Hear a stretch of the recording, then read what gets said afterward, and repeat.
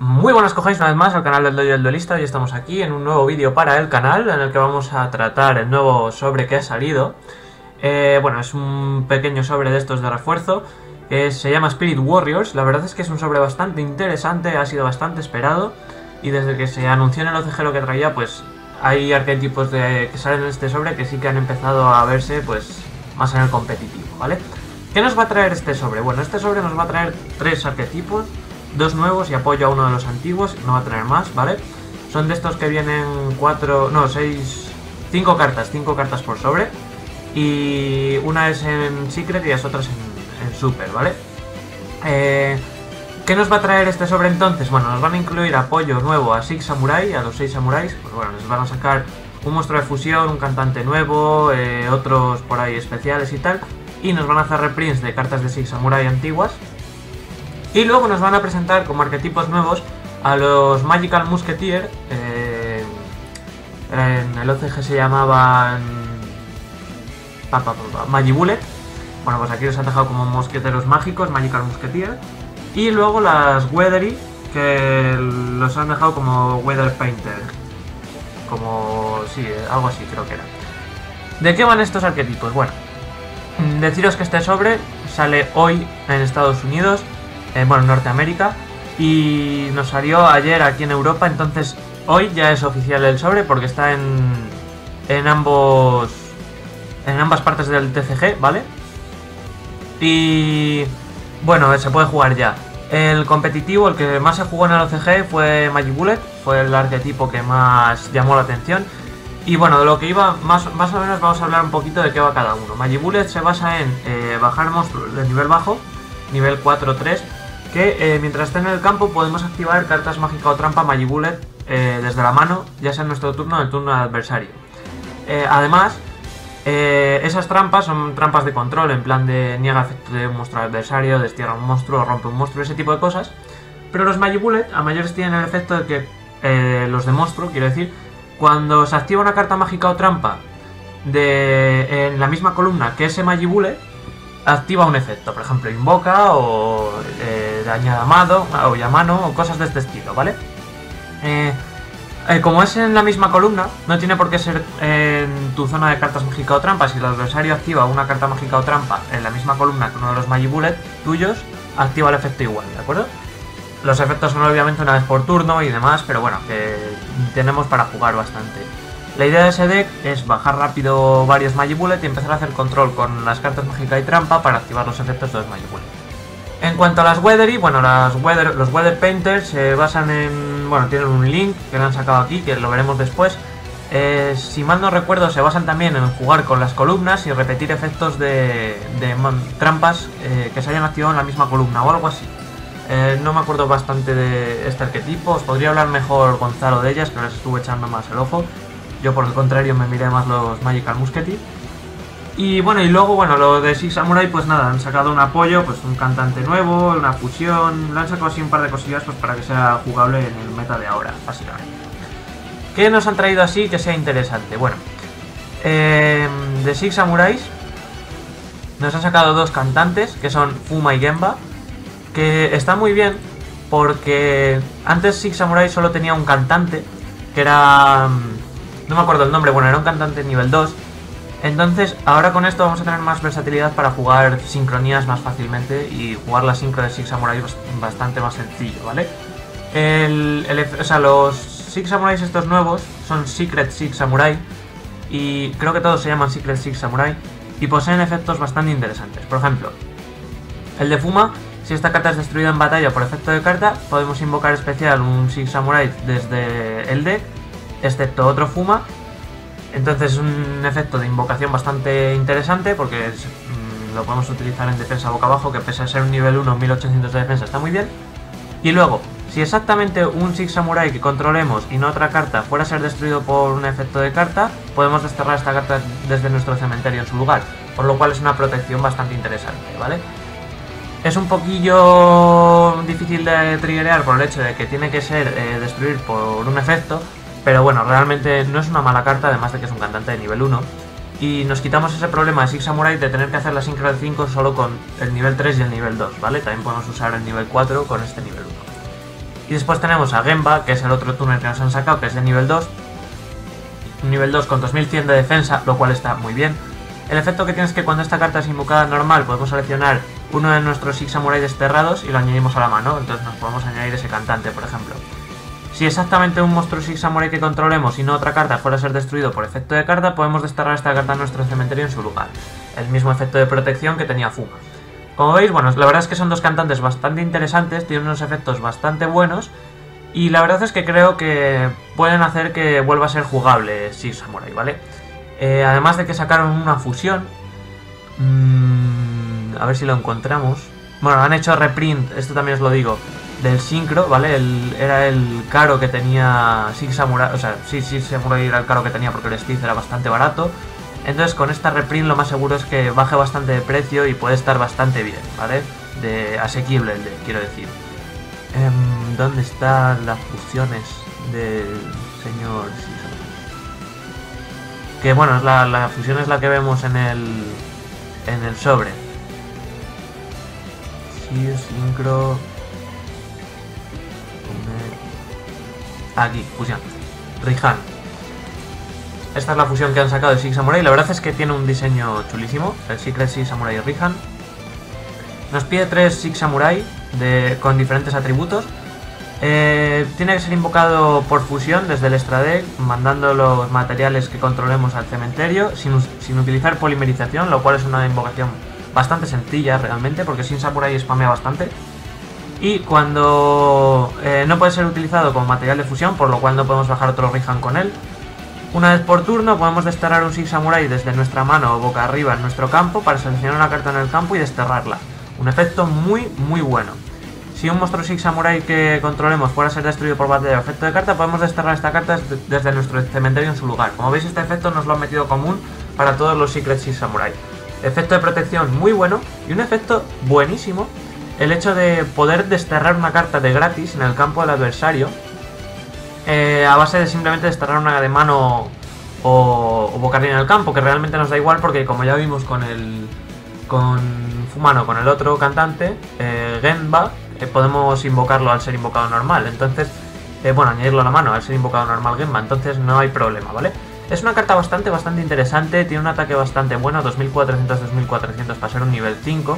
Y teniendo en cuenta que Six Samurai se bufa bastante de por sí, pues puede ser bastante, bastante interesante esta carta como apoyo para el deck, ¿vale? Luego vamos a echarle un ojo a, a las Weather Painter y por último a los Magical Musketeers. Esta es la, la link de Weather Painter. la temática de Weather Painter, ¿vale? Básicamente son como climatología, ¿vale? Es climatología. Y cada uno es un pintor de la climatología. El pintor de la nieve, el pintor de la lluvia, el pintor del sol. Ese tipo de... O sea, es la temática que han seguido. La, la link eh, por consiguiente es la, pintora del arco iris, porque es la que tiene todos los colores, como la jefa. Y la verdad es que de arte están muy bien, tienen un arte chulísimo. Casi todas también hay que decir que han salido en Secret Rare, ¿de acuerdo? Creo que los monstruos son todos en Secret Rare. Y las mágicas y trampas son en, Super. No lo sé ahora exactamente. Eh, nos pide, tiene tres flechas muy buenas, las tres hacia abajo. Nos pide tres Weather Monster para invocarlo lo cual puede ser un poquito difícil porque creo que no spamean tan rápido las, las Weathery. 2400 de ataque está bastante bien para ser un Link 3. Cuando nuestro oponente fuese a invocar especial eh, un monstruo o varios monstruos, esto es un efecto rápido, podemos eh, mandar esta carta de Link al cementerio para negar la invocación y si lo hacemos, destruir esos monstruos. Por lo cual, de entrada esta carta es un Solemn Warning, ¿vale? Eh, es un efecto buenísimo, porque simplemente es, si la mandamos al cementerio, pero realmente es, negámosle no solo la invocación de uno, porque pueden ser de varios monstruos, una invocación por péndulo también puede ser. Entonces está bastante guay. Una vez por turno, durante la standby phase del turno, es que esta carta fue desterrada eh, del campo para activar el efecto de una carta Weather, ¿vale? Podemos invocar especial esta carta desterrada y eh, los monstruos de efecto de Weather Monster a los que esta carta apunten gana eh, el siguiente efecto. Cuando una carta o efecto es activado efecto rápido, podemos desterrar esta carta y negar la activación y si lo hacemos destruir esta carta. Por lo cual, eh, quería leerlo de tirón porque es la sinergia de estos dos efectos. Si esta carta es desterrada, en la standby phase del turno siguiente a que esa carta sea desterrada se puede invocar, ¿vale? Entonces, ¿cuál es la cosa? Las que a las que están linkadas esta carta ganan efecto y de juego rápido eh, que podemos desterrar la link eh, y negar la activación eh, de esa carta y destruirla. Por lo cual, si, si desterramos a la link, luego se va a volver a invocar, negamos. Como veis es un control bastante, bastante potente. Además de que, bueno, deciros también que junto con esta que os voy a enseñar ahora, que es Snow, es de las más caras, ¿vale? La Rainbow. Rainbow y Snow son las más caras. Bueno, esta es la, la Snow, que es la de tierra, es la, que, la pintora de la nieve. Eh, cuando esta carta es invocada de manera normal, podemos colocar una mágica o trampa de Weather eh, desde el deck, boca abajo, eh, o sea, boca arriba en nuestra zona de mágica o trampa. Solo podemos utilizar este efecto de Weather Painter Snow una vez por turno. A mayores, una vez por turno, durante la standby de que esta carta fue desterrada, podemos eh, activar, bueno, para activar el efecto de una Weather podemos invocar la especial. Es un efecto común que tienen todas. Por lo cual, pues se pueden ir desterrando para hacer los efectos, para negar, como hacíamos con la Link, y luego a mayores, pues activar esos efectos. Esta está muy bien porque nos pone Weather boca arriba, o sea, mágicas y trampas desde el deck, es una buscadora muy buena y además pasar un nivel 3, 200, 2200 de defensa está muy muy bien de, de, estar. Porque lo ideal es que aunque esta la invoquemos normal para activar su efecto y tan hacer el ataque, la vayamos a desterrar en el turno siguiente al adversario sin que nos la vaya a romper. Entonces luego se va a invocar en defensa y es un muro bastante contundente. Y por último vamos a hablar un poquito de los Magical Musketeer. Os voy a poner aquí las dos más caras que hay, que son Caspar y Starfire. Starfire, si no recuerdo mal, son 6, entre 6 y 8 euros. Y Caspar está entre los 12 y los 20, ¿vale? Eh, como ya os dije, bueno, este arquetipo se basa en invocar eh, a uno de ellos, empezar a activar cartas mágica y trampa en columna, en, la misma columna que estos, y realizar sus efectos, para luego en el turno del adversario hacer lo mismo y controlar, ¿vale? El efecto de Caspar es que durante el turno de cualquier jugador podemos activar una Magical Musket trampa o mágica desde la mano. Esto es un efecto común que tienen todos los Magical. Y eh, si una carta mágica o trampa es activada en la misma columna que esta carta, nos podemos añadir a la mano un Magical Musketeer desde el deck a la mano, pero eh, no una carta con el mismo nombre que el que hemos activado. Es decir, mm, nos vamos a añadir tanto un monstruo como una mágica o trampa. El requisito es que no sea del mismo mismo nombre que el que se ha activado, pero bueno, da igual porque tienen bastantes cartas, ¿vale? Y es eso, jugar en, tanto en tu turno como en el del adversario para añadirte. Eh, a mayores solo podemos utilizar este efecto una vez por turno, ¿vale? Porque si no ya sería una carta muy muy rota. Y luego tenemos a Starfire, que es la otra cara que hay. Durante el turno de cualquiera de los jugadores podemos activar cartas hechizo de trampa de Magical Musketeer desde la mano, como el anterior. Y si es activado una mágica o trampa en la misma columna que esta carta, podemos invocar especial un monstruo nivel. O sea, un monstruo eh, Magical Musketeer de nivel 4 inferior desde, el deck en posición de defensa. Decir que todos son de nivel 4 inferior, menos el Boss Monster, que es de nivel 6, si mal no recuerdo, pero no, 6 u 8. No lo sé, que no se juega, no hace falta que lo juguéis porque es el peor de todos, no hace falta para jugarlo. En posición de defensa, excepto otra Starfire, solo podemos activar ese efecto una vez por turno. Entonces, eh, como veis, tanto este como Caspar pues son buscadores muy. O sea, un buscador que te busca cualquier carta Magical Musketeer dentro del deck. Y Starfire que te invoca cualquier Magical Musketeer dentro del deck, ¿vale? Porque ya os digo que el, Boss Monster no se juega. Por lo cual, eh, son las dos más caras por razones obvias. Eh, la estrategia de este deck realmente es bastante sencilla. jugamos Ties of.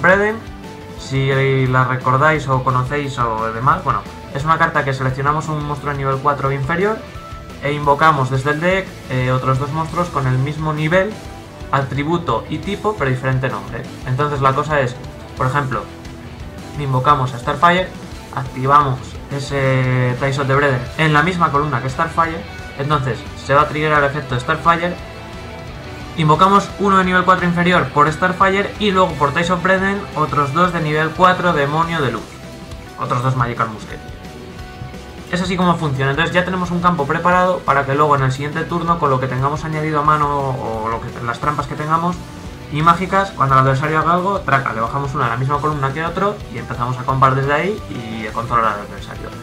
Es el estilo de juego que tiene este Magical Musketeer. Es bastante interesante y bastante divertido. Os animo a que le echéis un ojo porque la verdad es que merece bastante la pena. Y como ya os dije, en el OCG sí que, sí que se empezó a jugar. Y esto realmente es el sobre este de Spirit Warriors. Es un sobre muy bueno, yo creo que es bastante bueno para ser uno de estos de 5 cartas. Que ojo, no digo que sean malos estos sobres, pero no todos suelen salir excesivamente bien. Pero estos nos han traído arquetipos muy buenos. Las Weather, por ejemplo, quizás sean las menos competitivas de los tres arquetipos que han salido, pero sí que. O sea, ya en Artwork ganan muchísimo y los efectos son bastante interesantes. Entonces yo creo que eh, en sí este, este deck está bastante guay. O sea, este deck, este, este sobre está bastante guay.